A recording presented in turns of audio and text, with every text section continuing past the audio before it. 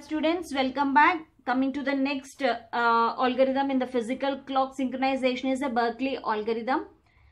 Okay, so in the previous videos I explained what is an UTC algorithm and the Cristian's algorithm. Now let's see the Berkeley algorithm with an example.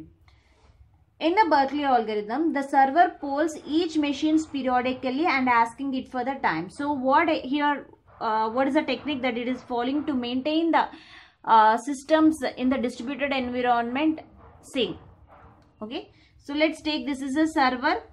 The server is asking all the systems that is the clients let us take a different system. The server is polls each machines periodically asking it for what is your system time. Mine is 3 o'clock. And what is yours? Mine is 3 o'clock. What is yours? Mine is 3 o'clock. And what is yours? Like that so based on the answers it computes an average time so based on the reply that are given by each system based on the reply is given by the each system it computes an average time and tells all other machines to advance their clocks to the new time or slow their clocks down until some specific reduction has been achieved. Did you understand this? It's a very interesting one. So here this system is there. This system is asking for your what is your time and this server is asking this system what is your time. So it's saying minus 3 o'clock. It's saying minus 3 o'clock. Suppose this is replying with minus 310 and it is saying minus 250. So whenever it receives a reply, now what the server role? The server is saying that, okay, just compute the average time and tells all other machines to advance their clocks. So it is telling to this machine to advance the clock because mine is minus 3 but yours is 250. So just add 10 and make your system as a 3 or it is asking this system slow their clock down. yours is 310 mine is only 3 so just slow down your system so it is say, saying if it is more more means slow down the system slow down clock. Less means advance clock. Advance clock. Okay? So until some specific reduction until uh, so means even this system is also has to maintain it has to increase or decrease because every system has to be synchronized.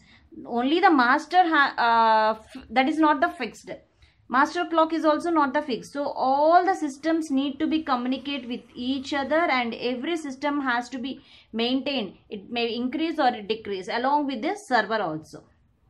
The time daemon's time uh, must be set manually by the operator periodically. So see here in this example, let's take this is one, second, third. So the time daemon ask all other machines for their clock values. So this, this all systems are connected in network. Now this system is asking, the time daemon ask all other machines. So it is asking this system and this system for their clock values. So it is saying what is your clock value? Mine is 3 o'clock and this is saying to another system what is your system clock minus 3 o'clock so sending the message like minus 3 o'clock okay so this system time is 3 o'clock. Now the machine answers. So now the machine is each machine is answering. It's saying that minus 250 that means it's just sending minus 10 so when compared to your system mine is minus 10 so it is obviously understand 3 3 in 3 o'clock. If you take it as minus 10 means it's nothing but 250 so it is also sending the message like plus 25 so plus 25 the this system thinks okay it is plus 25 means uh, the time is 325 okay? So now the time uh, daemon tells everyone how to adjust the clock. Now it is saying because this is acting as a master uh, this system has to maintain all the systems along with this in synchronous. Now it is saying that we have to adjust the clock because one is 3 o'clock another is 250 another is 325 all systems are having different time clocks. So we have to maintain a synchronous clock. How? See here. So now uh, along with the system it is saying that with on the system you have to maintain plus 5.